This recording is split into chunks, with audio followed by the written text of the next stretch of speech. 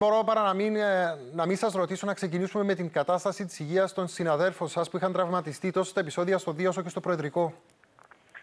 Είχαμε 12 μέλη μας τα οποία τραυματίστηκαν δυστυχώς κατά τα επεισόδια και τις συλλήψεις που έγιναν από τα οποία τα 7 μεταφέρθηκαν σε νοσηλευτήρια που δέχτηκαν τις πρώτες βοήθειες.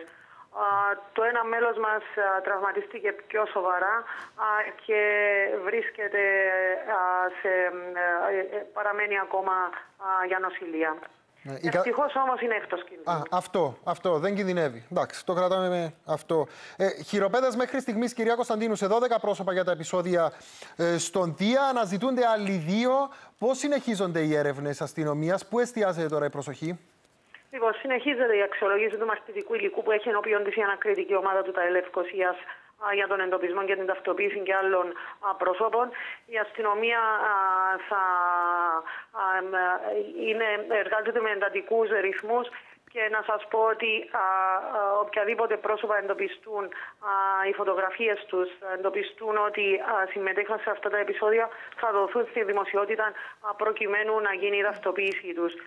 Ήδη ταυτοποιηθήκαν κάποια πρόσωπα από αυτά που έχουμε σήμερα ενώπιον του επαρχιακού δικαστηρίου με τη βοήθεια και πολιτών και καλούμε τους πολίτες να μπουν να ξαναδούν τις φωτογραφίες των υπόπτων και σε περίπτωση που αναγνωρίσουν οποιοδήποτε ή έχουν οποιαδήποτε πληροφόρηση για τα γεγονότα να μην διστάσουν, να μας καλέσουν, να πάρουν τηλέφωνο στο 1460 είτε επώνυμα είτε ανώνυμα που είναι η γραμμή επικοινωνίας του πολίτη. Μπορούν επίσης να... Ε, να, ρωτήσω, να ρωτήσω κυρία Κωνσταντίνου, υπάρχει ανταποκρίση από πλευράς του κόσμου, δηλαδή χτυπάνε τα τηλέφωνα, ναι αυτόν στη φωτογραφία τάδε τον γνωρίζω, είναι αυτός; Βεβαίως, ναι, βεβαίως ε, ε, ανταποκρίθηκε ο κόσμος. Ναι, ανταποκρίθηκε. Ήδη ξεκίνησε να γίνεται ταυτοποίηση των προσώπων. Α, ε, ήδη είμαστε στον δρόμο για να εκδώσουμε και άλλα τέσσερα α, εντάλματα σύλληψης προσώπων τα οποία ταυτοποιήθηκαν από τις φωτογραφίες που δώσαμε στη δημοσιότητα. Λοιπόν, ε, από ό,τι φαίνεται ε, να λέμε κρίμα και για τους συναδέλφους και τους δικούς σας και τους δικούς μας. Κανείς δεν ήθελε αυτά τα επεισόδια. Ωστόσο φαίνεται πως η αστυνομία, κυρία Κωνσταντίνου, ε, υπήρχαν κενά. Δεν έγινε. Κάτι πήγε λάθος. Όχι κάτι. Σχεδόν όλα πήγαν πολύ λάθος για να καταλήξουμε σε αυτά. Υπάρχουν κενά ε, στις διαδικασίες. Υπήρχαν πληροφορίες για 500 άτομα. Τελικά κατέληξαν χίλια και έξω από το Προεδρικό. Δεν γνωρίζαν πώς υπάρχει κινητοποίηση, πώς θα οδηγούνταν έξω από το συγκρότημα Δίας.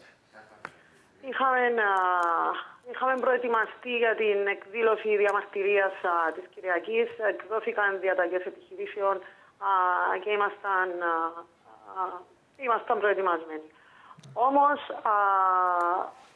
οι πληροφορίες που είχαμε, γιατί οι διαταγές επιχειρήσεων βασίζονται στις πληροφορίες που έχει η αστυνομία ενώπιον της, μιλούσαν για μια ειρηνική διαμαρτυρία, στην οποία θα συμμετείχαν περίπου 500 με 1000 άτομα.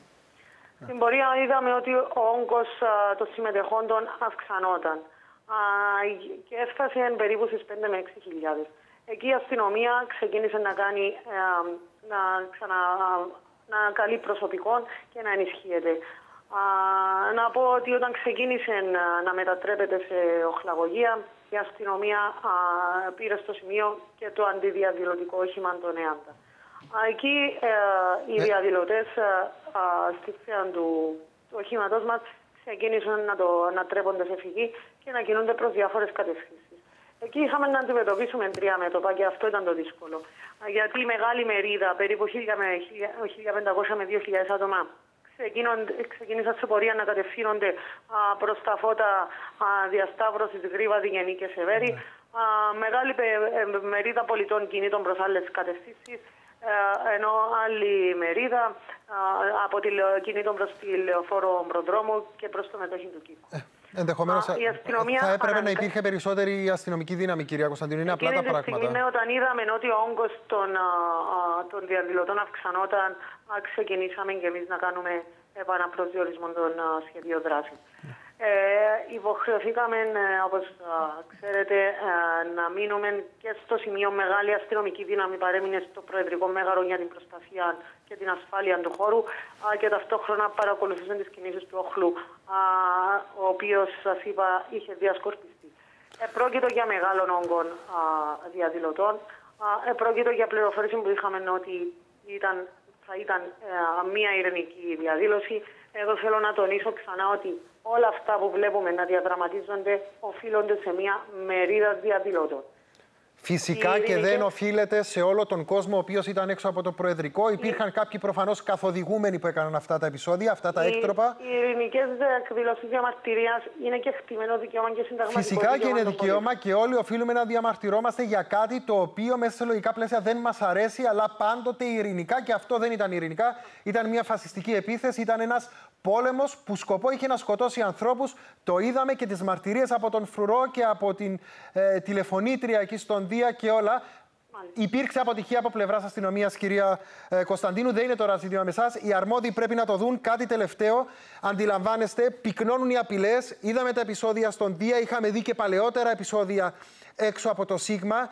Τι γίνεται με την ασφάλεια των μέσων μαζικής ενημέρωσης; Η ελευθερία του λόγου αποτελεί συνταγματικό δικαίωμα και ο καθένας οφείλει να δείχνει τον απαιτούμενο σεβασμό.